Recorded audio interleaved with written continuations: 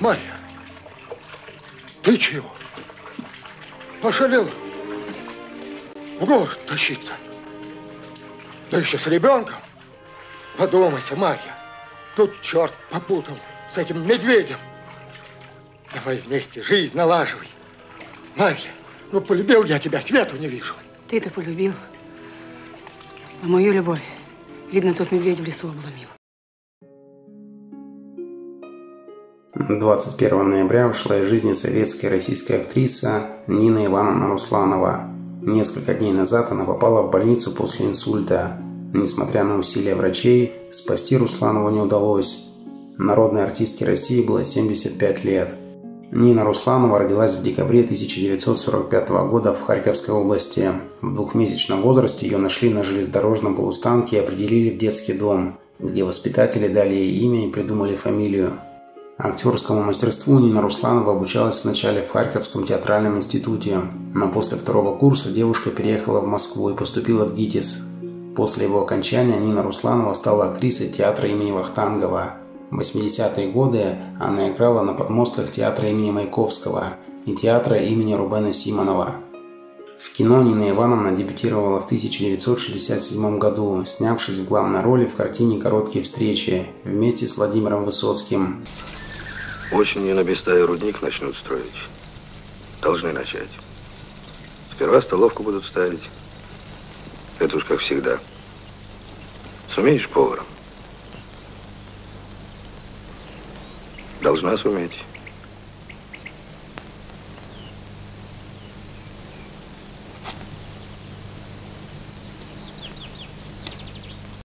Этот фильм был удостоен премии Ника. После выхода фильма «Тени исчезают в полдень», где Русланова сыграла главную роль Марии Вороновой, она стала знаменитой на весь Советский Союз.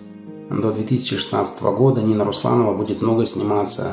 В советском кинематографе ей достанутся главные роли в таких фильмах, как «Афоня», «Познавая белый свет», «Будьте моим мужем», «Берегите мужчин», «Валентина Валентина», «Зимняя вишня» и «Собачье сердце». Вот ты до чего докатился, Борщев.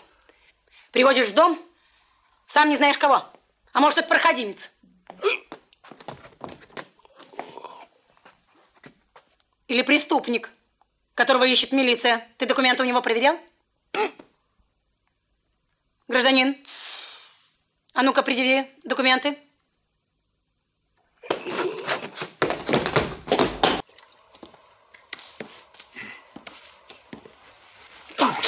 Ну что ты, как демон пристав? Ну подожди, ну сильно же пойдет. Ну, ну что ты, как будто тебя омолодили. Нам это ни к чему. Да чего ж ты огненная? Ну, вон, бессовестный. Перестройку и непростые 90-е годы режиссеры никогда не забывали Нину Русланову и всегда были рады видеть ее на съемочной площадке. В театральных кругах и отечественном кинематографе она была живой легендой. О дате и месте прощания с актрисой будет известно позднее. Светлая память Нине Руслановой и соболезнования родным и близким.